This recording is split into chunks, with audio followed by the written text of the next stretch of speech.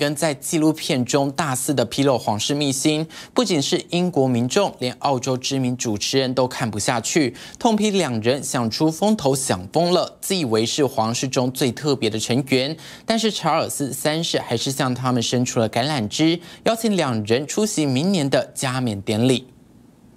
哈利与梅根在纪录片中火力全开，不止遭到英国媒体重炮抨击，就连澳洲知名主持人也看不下去，痛批两个人想出头想疯了，以为自己是皇室中最特别的成员，但其实真的不是。Pleasure to meet you, Your Majesty。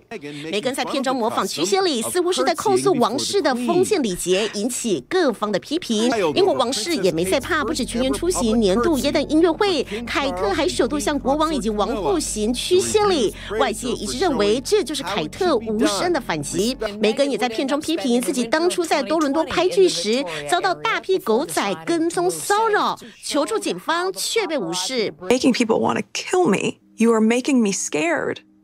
哈利也怒斥媒体紧迫逼人，导致梅根流产想不开，种种控诉也遭到多伦多警长反击，讽刺有些人永远有事。两个人对生活充满了负面情绪，因为营造出了备受王室虐待的受害者形象，还获得了好友免费出借位于比弗利山庄的五亿豪宅。为了转移哈梅的攻势，威廉以及凯特的小王子路易预计在今年耶诞节献出处女秀，他将在耶诞节的早晨步行到教堂参加礼拜。明众。也很期待路易小王子首场耶诞步行会有什么可爱的萌样，融化众人的心。记者综合报道。